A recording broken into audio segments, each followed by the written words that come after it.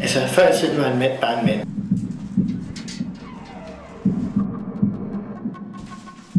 Der findes rigtig, rigtig, rigtig mange magtløse mænd. Jeg sidder i saksen. I år 2012, der må man kun sætte kvinder på plads med over.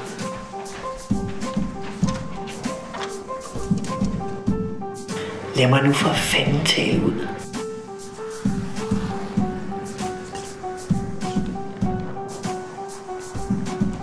Ti stille nu!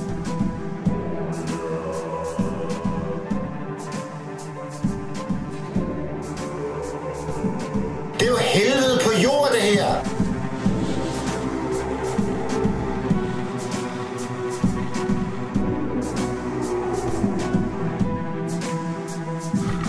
Enten bliver jeg til grin, og ellers så får jeg skæld ud.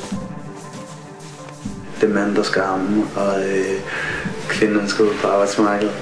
Tag dog og, og få styr på jeres prioriteter, kvinder. Vi har så forbandet ondt af os selv.